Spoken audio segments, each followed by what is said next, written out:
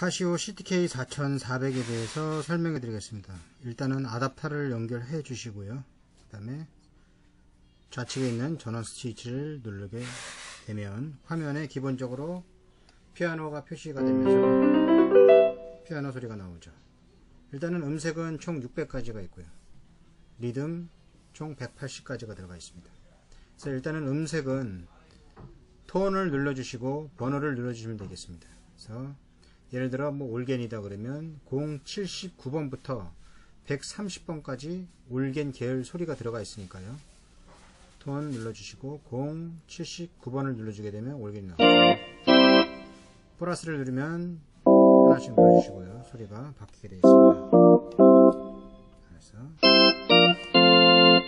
이렇게 음색을 찾으시면 되고요.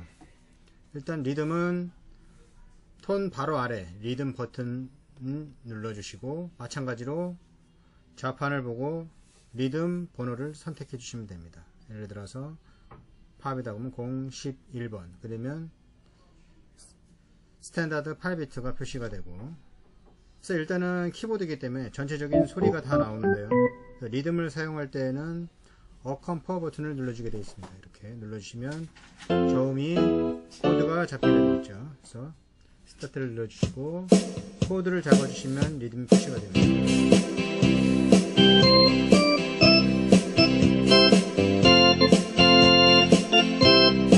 네, 이런 식으로 이제 연주를 하게 되어 있는데요.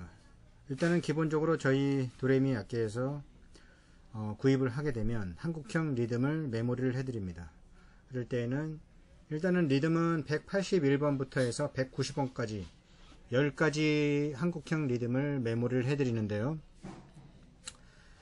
번호를 눌러서 번호를 찾아주셔도 되고 화면 아래 보면 이 registration 이 부분에 저희가 단축키로 메모리를 다 해드립니다. 그래서 1번을 눌러주게 되면 디스코의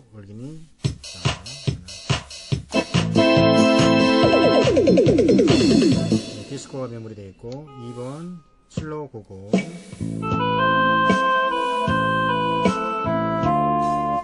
3번. 슬로우라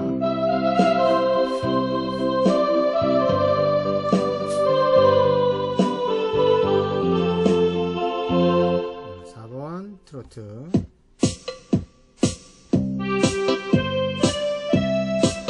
이런 식으로 이제 많이 쓰는 거 네 가지가 메모리가 되어 있고요. 바로 옆에 뱅크가 있습니다. 뱅크 버튼을 눌러주게 되면 2번 뱅크로 바뀌어지게 됩니다. 그래서 2번에 4가지, 1번에 4가지, 2번에 4가지 이런 식으로 8가지 단축으로 메모리가 되어 있습니다. 1번 눌러주게 되면 아까는 디스코가 나왔는데 지금 1번은 왈츠가 나오죠.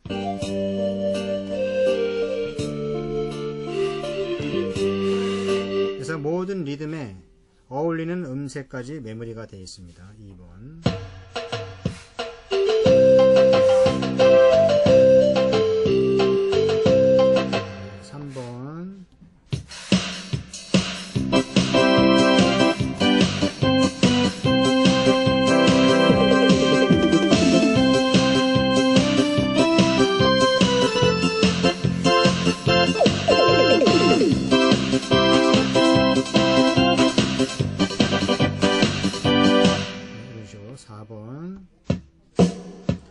아까 1번에도 트로트가 있지만 여기 2번에도 4번에 트로트가 있는데 약간 다 틀린 리듬입니다.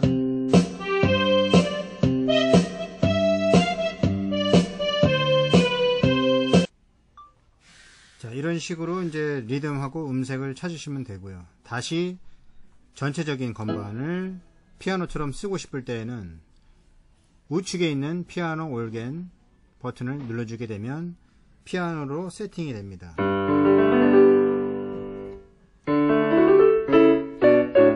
이럴 때는 저음까지 소리가 다 나오게 되어 있죠. 다시 메모리 된 거를 불러드리고 싶다. 이럴 때에는 화면 아래 있는 단축키 버튼을 눌러줍니다. 예를 들어서 트로트다 그러면 4번을 눌러주고 스타트를 눌러주고